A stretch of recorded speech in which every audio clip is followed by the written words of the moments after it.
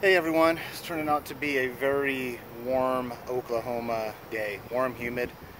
I, it's weird how my timing's going. I, I, I, I got, I left the hotel real early to go to uh, Pops. Um, if you saw a previous video, I kind of gave it a two thumbs down. And I was way too early for the, where I'm at now, I was way too early for the National Cowboy and Heritage Museum in Oklahoma City. But I pulled over anyways to grab some shade and I looked at the two distant Route 66 museums. One is the national one, I believe in Clinton, and the other one is the Oklahoma State one, which is in uh, Elk City, and they're about half hour apart.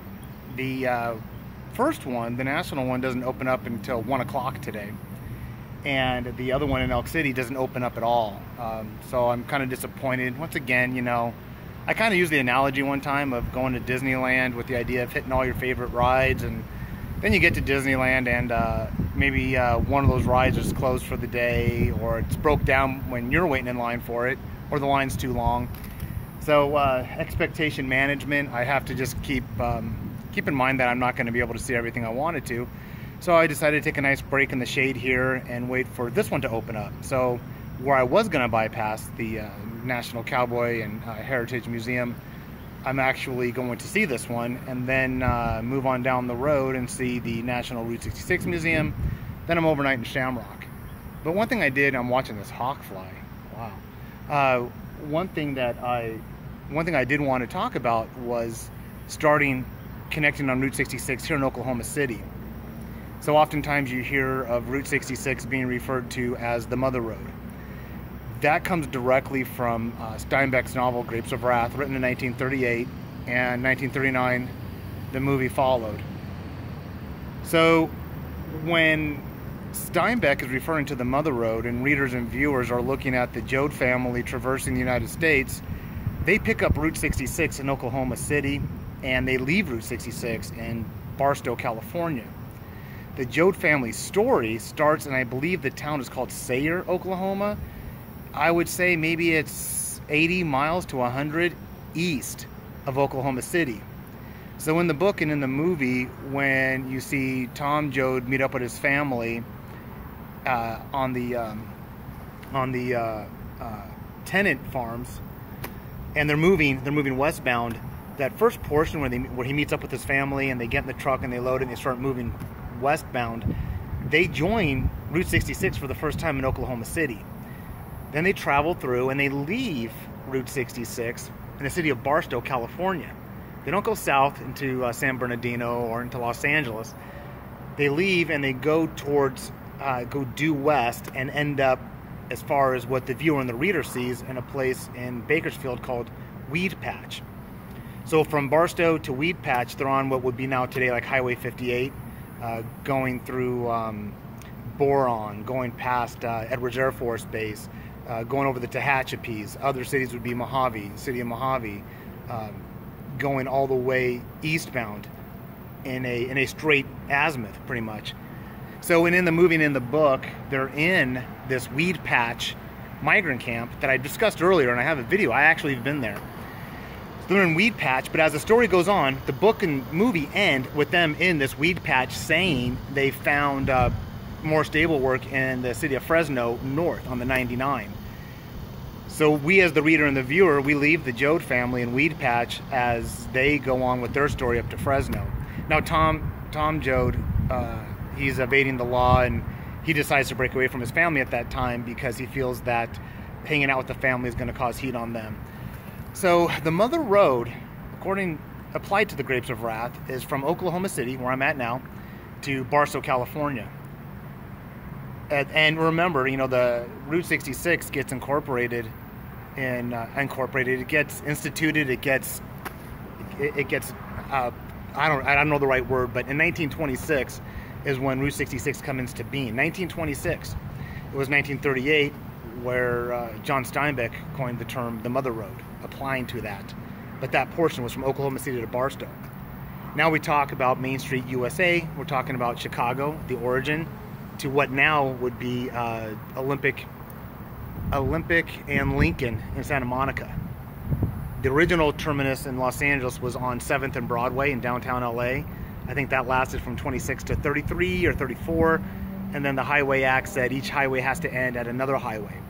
So Route 66 being a east-west had to end at a north-south, and that became Highway 1 in Santa Monica. So then they extended the terminus to be on uh, Lincoln and Olympic in downtown Santa Monica, really close to the water and close to the Santa Monica Pier, which people now end their tour and their trip on the Santa Monica Pier.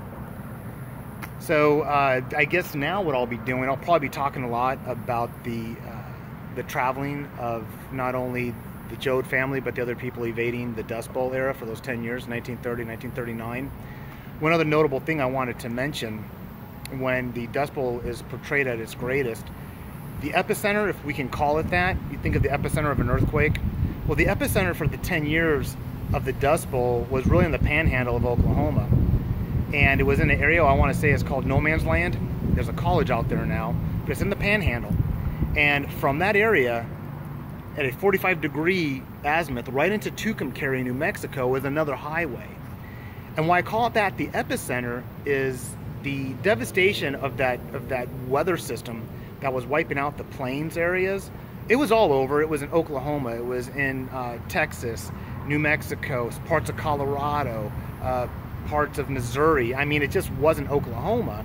But why I call that the epicenter is no matter where it hit geographically in those other states, it always seemed to be that either it was centered in that panhandle or the fringes of the other uh, towns that were being hit were hitting that panhandle.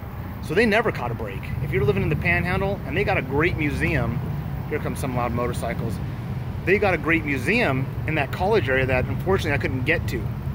There's another museum that portrays the Dust Bowl and it's at a rest stop in Texas that I'm going to hit.